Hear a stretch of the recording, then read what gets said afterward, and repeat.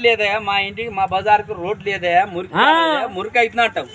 ఏమని అడుగుతావు? ఇవాళ పదివేలు ముప్పై వేలు తీసుకొని ఓటేస్తున్నావు ఆడు రేపు ఏమంటాడే లంజా కొడక నా పిల్లపి పది రోజులు తిన్నవరా పది రోజులు కోటలు తాగినవరా అని అంటాడు. రేపు ఏ ముఖం పెట్టుకొని పోయి అడుగుతావు? తమ్ముడు. నీకు ఏది స్వతంత్ర భారతదేశంలో ఇదేనా నాయకత్వం?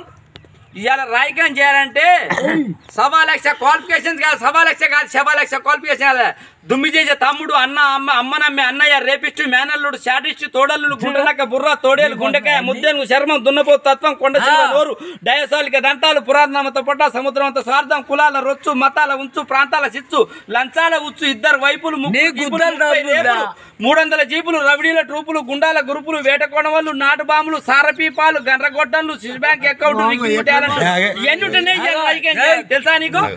కరెక్ట్ ఏం నీకోసం నీ అన్న తమ్ముడా నీకెందుకు పెట్టడా? ఆయన అన్న తమ్ములకే ఒకసారి పగ వస్తే ఆయన పెట్టడు. నీకేం నీకు పెట్టాలని తీట ఆయనకి? వాళ్ళ స్వార్థం నీ మీద ఇవాళ పదివేలు ఇస్తున్నాడు నీ మీద లక్ష రూపాయలు సంపాదిస్తాడు. ఈ రాజకీయం అంటే తిక్కలంగా నిజమా?